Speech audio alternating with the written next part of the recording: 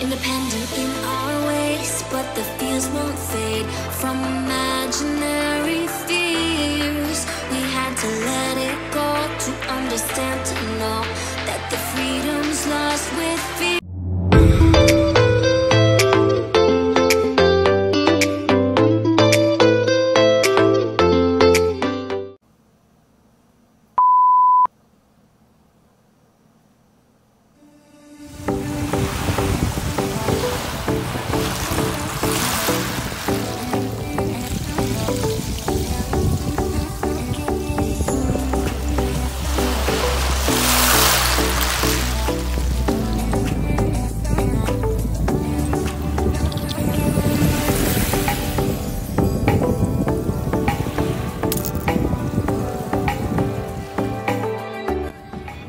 Good morning, good morning po sa inyong lahat and welcome back po no sa panibagong video po natin ngayong araw po ng lunes.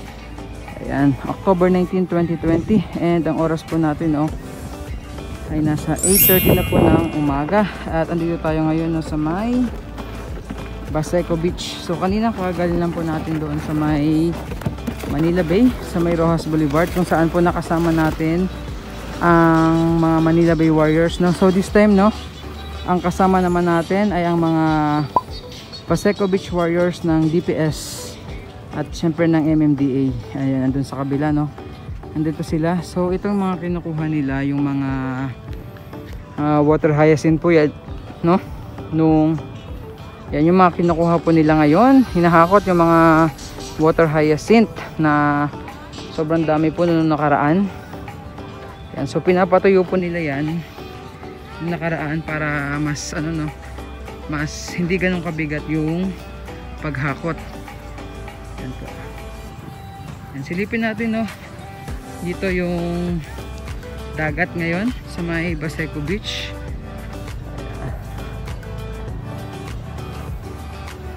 Yan po na nakikita niyo sobrang ganda. Yan. Asul na asul rin po no yung ah, dagat dito sa may Baseco Beach. Napakaganda ngayon ng sikat ng araw. Grabe yan po. Asul na asul ang ating kalangitan. Asul na asul ang dagat.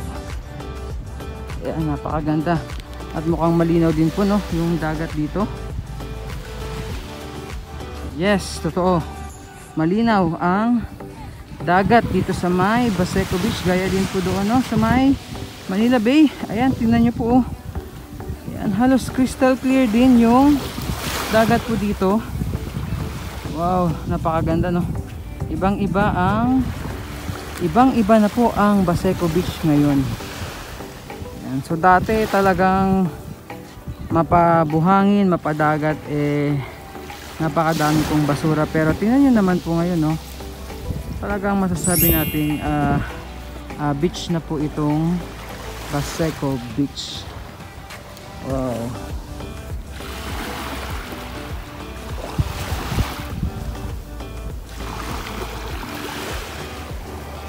No? Ganda oh. Malinaw ang dagat.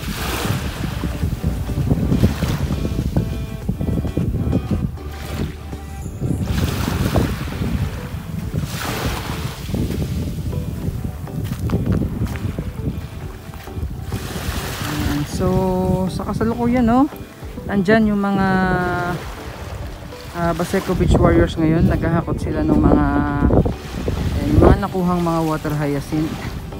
So, pinatuyo lang muna for a while dyan dahil sobrang bigat din po no pag isang piraso ng water hyacinth eh medyo mabigat dahil basa nga po na yan ang dagat. Saludo tayo sa mga ah, Baseco Beach Warriors. At meron din po doon no, sa may lagoon meron din pong naglilinis ngayon.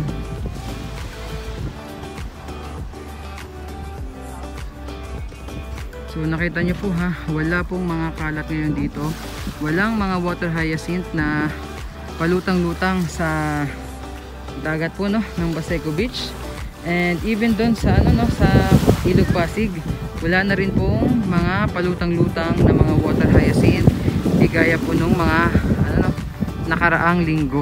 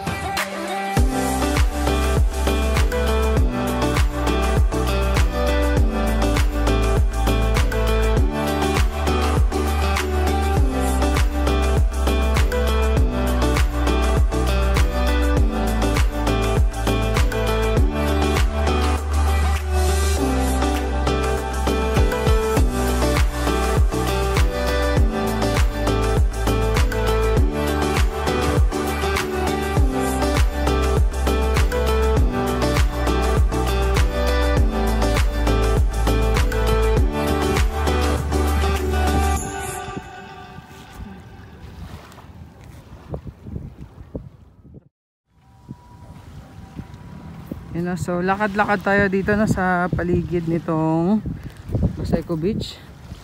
Ayan. Pakaganda. Sarap makita na ganito yung paligid natin, no? malinis. And okay na po no, yung amoy ng hangin. Wala na din yung dating mabantot po no, na amoy ng hangin dito. Manila Bay natin, Pasig River and Baseco Beach. Nakakatawa. And talagang sobrang ganda rin po no, nung linaw ng dagat ngayon.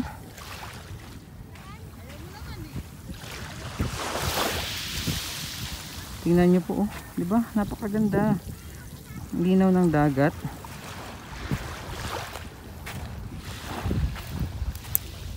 Ayan, dami pong mga shells Ayan, nagkalat yung mga shells dito. Ayan. Huh?